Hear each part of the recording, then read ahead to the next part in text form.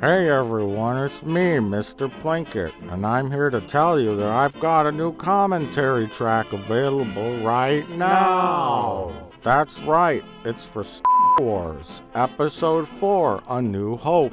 Watch the movie and listen along as I complain about the adventures of our favorite space heroes Luke Starkiller, Han Soloman, Princess Handjob, Chupacabra, and who can forget the lovable C3PO and R2D2? You can get the track right now on our site, redlettermedia.com. Remember to hit play the second you see the trademarked logo on your TV screen. Then sit back and enjoy a half a dozen of your favorite beverages, or perhaps a huge fucking and laugh a guaranteed three to five times during the two hour long running time. Laughs not guaranteed. Now, for those of you who are already complaining that this is not another video review, well, hold tight, I'm working on one right now.